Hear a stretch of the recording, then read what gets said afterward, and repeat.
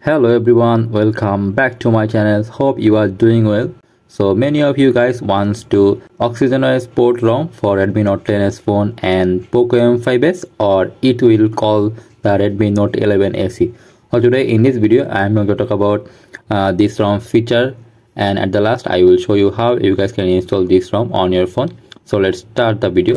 First of all I can see this is the brand new OxygenOS control center. I can see the um, the timing bar. You can see the OxygenOS clone and if I go to the settings uh, I can see this is the uh, OxygenOS ROM for Redmi Note 10s phone and you can easily use this ROM on your Poco M5s or on the Redmi Note 11 SE okay so there you can see the specs and this ROM is on top of Android 15 this ROM has some customization. Uh, see some days ago I already uh, review uh, ColorOS ROM. So you can uh, see that if I go to the gallery I can see this uh, ROM has the gallery functions is really the AI based. If you can see that you can uh, easily remove anything from your photo the AI function is perfectly working. I can see the results of the re um, remove objects. And in the gallery function you will get lots of features. So you can definitely try out the gallery so now i'm talk about the game performance of this ROM i can see if i on any kind of game like if i on this game i can see if i um, when you on a game i can see the new game turbo animation.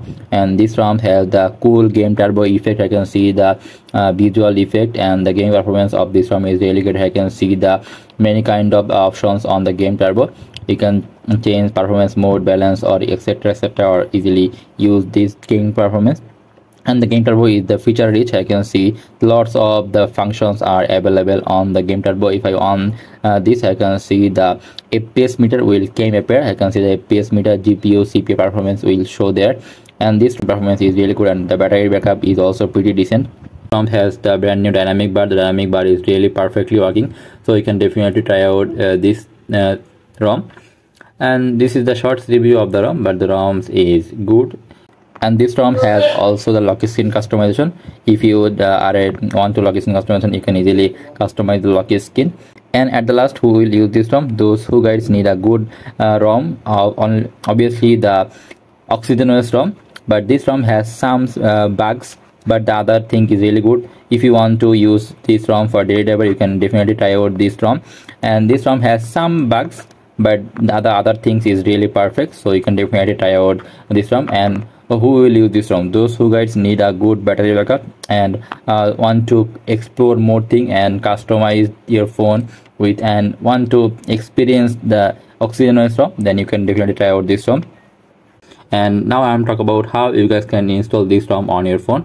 In few days ago i already upload a lrs rom for note 10 phone so you can definitely try out the check out the video. And the almost features are same but uh, the installation process is also the same. So you can definitely see the video for the installation process. All the process are the same to same so you can definitely try out to try out uh, check out this video okay so hope you guys enjoy this video. If you guys don't understand something message me on telegram. I will try to help you. And all the link i will provide in my description box. So you can definitely try out and check out my description box. So thanks for watching this video